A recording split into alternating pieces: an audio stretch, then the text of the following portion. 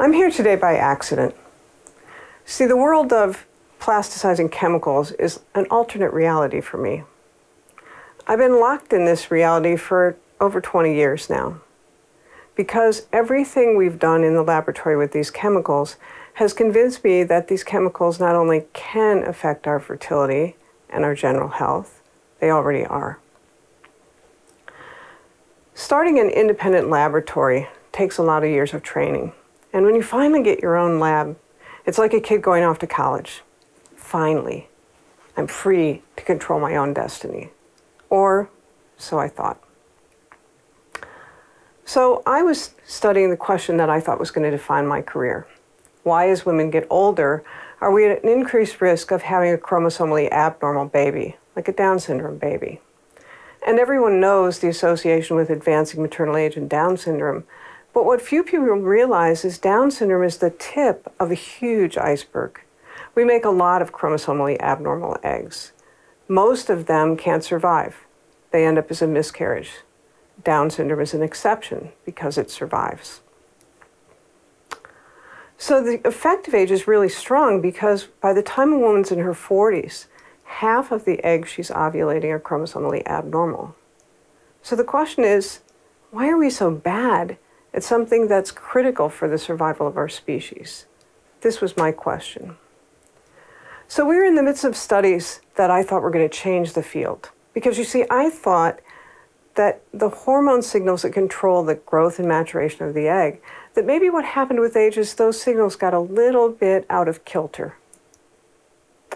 I thought if I used mice, mice don't make many chromosomally abnormal eggs, but I could pick mutants where I knew the hormonal control would not be exactly right. And I thought maybe I would see chromosomally abnormal eggs. Well, we started these studies, and eureka, we were on the right path. We were actually seeing chromosomally abnormal eggs in these mutants. Awesome. And that's when I stepped through the looking glass into the world of plasticizing chemicals like bisphenols and phthalates. Chemicals that are endocrine disrupting chemicals. They send static into the complex radio network that's our endocrine system. And this endocrine system controls our growth, our metabolism, our sexual function, our sleep, and our behavior. So we were conducting our studies, and all of a sudden, we got chromosomally abnormal mice, chromosomally abnormal eggs in control mice. Hmm. At first, we thought we just mislabeled the mouse, but we ran the experiment again and again and again and got the same thing. And I started thinking, well, there's a lot of construction going on. I wonder what's coming through the air handling system. I wonder if there's a new chemical they're, they're spraying an insecticide to control bugs.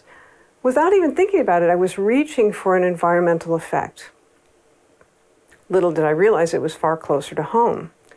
So after many weeks of casting around trying to figure out what was going on, we started to notice that our cages that our animals were living in and the water bottles they were drinking from were showing us signs of degeneration. And we pieced together what happened.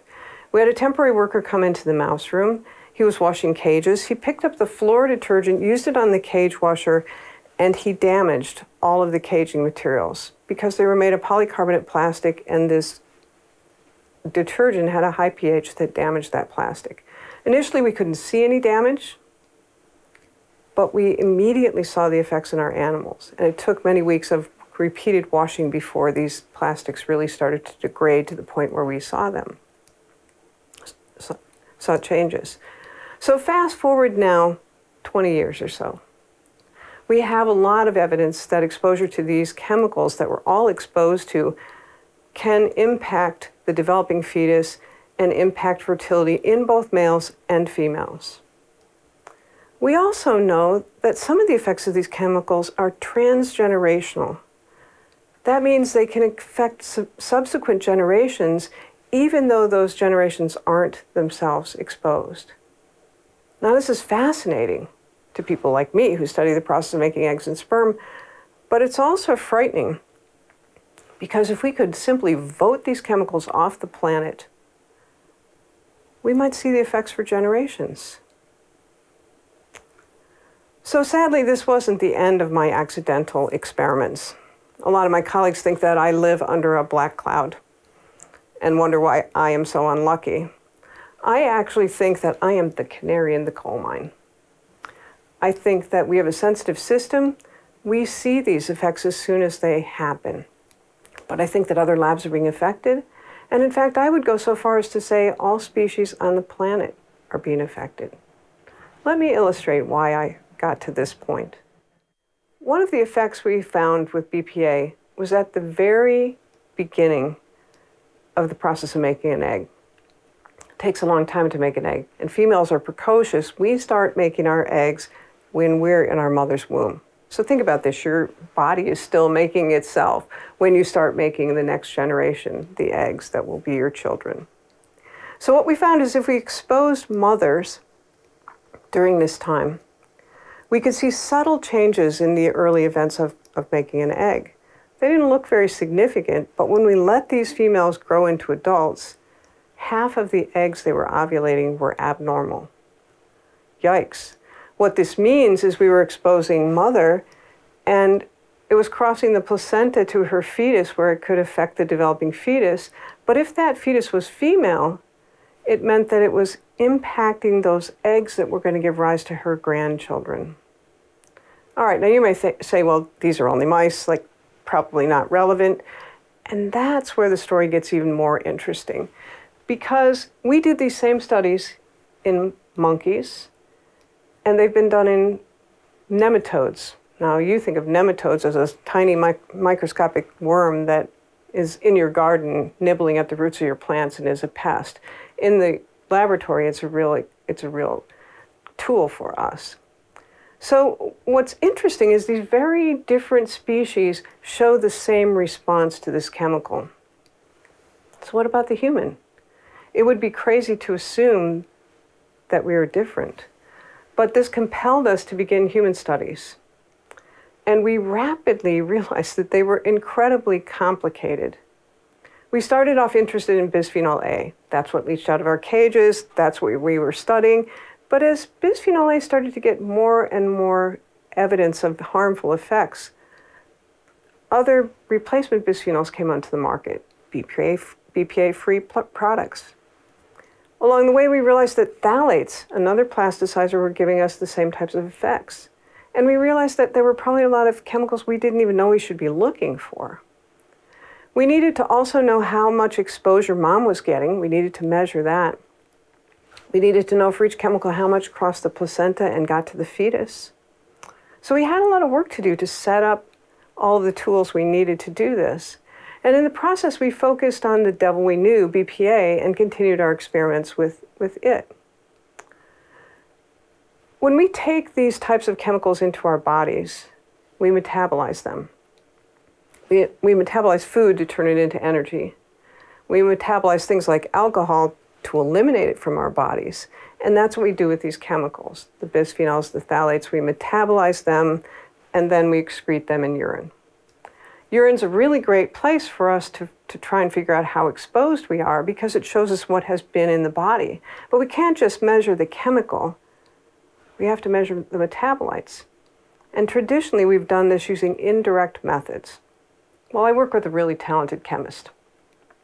So he developed a new more sensitive method, a direct method. And we started analyzing our samples with this method, and we got really high levels of bisphenol A in some of our individuals. In fact, they were so high that our data were questioned. And we found ourselves in a position of having to defend our work by demonstrating why the old techniques were inaccurate.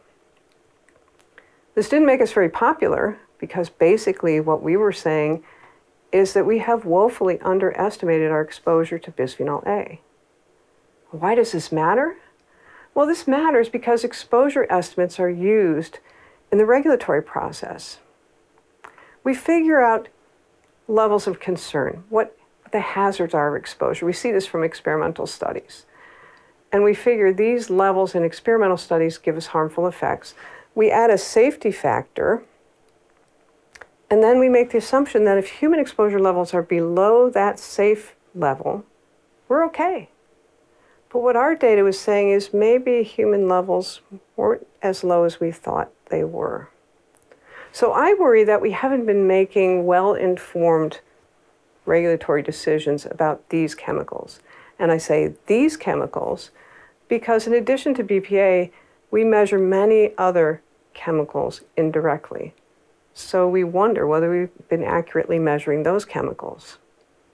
Okay, I don't know about you, but at this point, I want to jump back through that looking glass to the other side. So, how do we do this? Well, I'm not sure I can answer that, but I'm going to leave you with three suggestions. First of all, 21st century chemists are magicians. They can design safer chemicals. They can know before a chemical goes into production, before it goes into the marketplace, that it does not have these hormone like qualities. It's not going to affect our bodies the same way.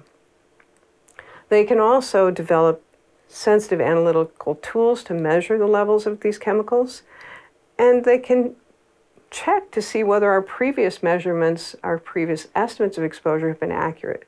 We need to empower them to do all of this and more. Secondly, the fact that these the effects of these chemicals, some of them can cross generations, is absolutely amazing. Geneticists need to determine why and how these chemicals bend the rules as we understand them. Because if we do that, if we understand how they do this, that provides a key to circumventing some of the effects of these chemicals. So again, we need to empower them to do it.